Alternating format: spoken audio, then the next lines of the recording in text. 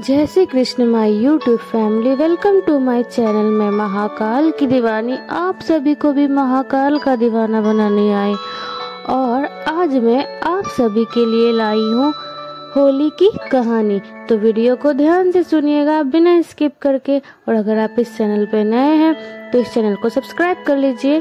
Okay let start Holi Bharat का एक प्रसिद्ध पर्व है।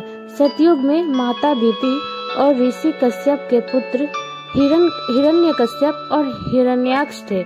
हिरण्याक्ष एक दमनकारी असुर था। हिरण्याक्ष ने भूदेवी, यानी कि धरती को नष्ट करने हेतु उन्हें रसातल ले गया।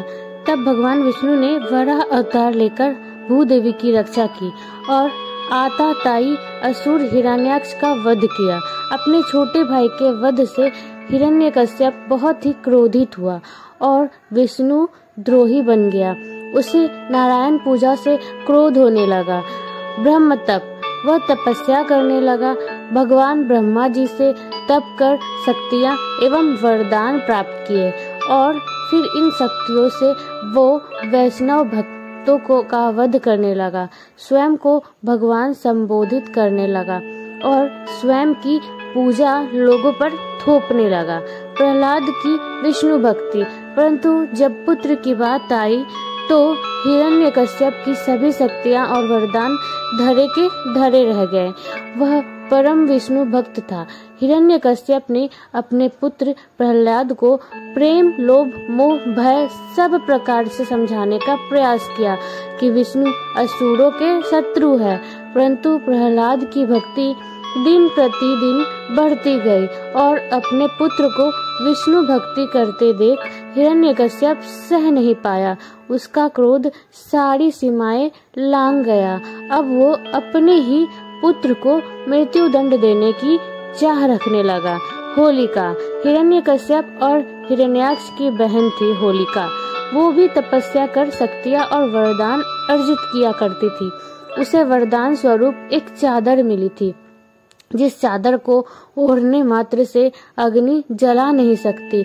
हिरण्य कश्यप ने अपनी बहन होलिका के साथ मिलकर प्रहलाद को मारने का षड्यंत्र रचा।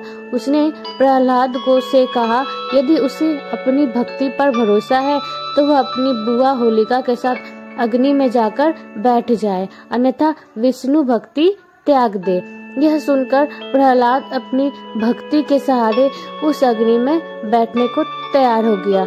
प्रहलाद की भक्ति विजय। बेदी बनाई गई और उसके चारों ओर अग्नि का प्रबंध किया गया। होलिका अपनी दिव्य चादर ओढ़कर बैठी, जो उसकी रक्षा अग्नि से करने वाला था और उसकी गोद में प्रहलाद बैठ गया। अग्नि प्रज्वलित की गई, परंतु भक्त प्रहलाद तनिक सा भी विचलित नहीं हुआ। वो अपने भगवान में ध्यान मग्न हो गया। अग्नि बढ़ने लगी। तभी वायु के वेग से लपटों ने उसे दिव्य चादर को उड़ा उड़ा कर प्रहलाद को ढक दिया और आकाशवाणी हुई कि होलिका ने वरदान का दुरुपयोग किया है, जिसके दंड स्वरूप इस, उसकी मृत्यु निश्चित है और दंड स्वरूप होलिका उसी अग्नि में जलकर भस्म हो गई। इधर उसका भाई हिरण्य कश्यप अपनी प्रिय बहन की मृत्यु से अत्यंत दुखी होकर विलाप करने लगा। अतः एक बार पुनः भक्त प्रहलाद की भक्ति विजय हुई एवं अधर्म का नाश हुआ। होली का उत्सव। प्रहलाद को सुरक्षित देख प्रजा में संतोष दिखा। प्रजा ने उत्सव मनाया। यह बुराई पर अच्छाई की विजय है। अधर्म पर धर्म की विजय और क्रोध पर प्रेम की विजय है। प्रजा ने अपना आनंद अलग अलग रंगों से रंगोत्सव मनाकर किया। अच्छे अच्छे पकवान बनाए गए और गीत गाए गए। सतयुग से कलयुग तक होली निरंतर मनाई जा रही है। तो फ्रेंड्स, अगर ये वीडियो आपको अच्छा लगे तो इसे लाइक कीजिए, सब्सक्राइब कीजिए, ज़्यादा से ज़्यादा कमेंट कीजिए। ओके फ्रेंड्स जाना नहीं।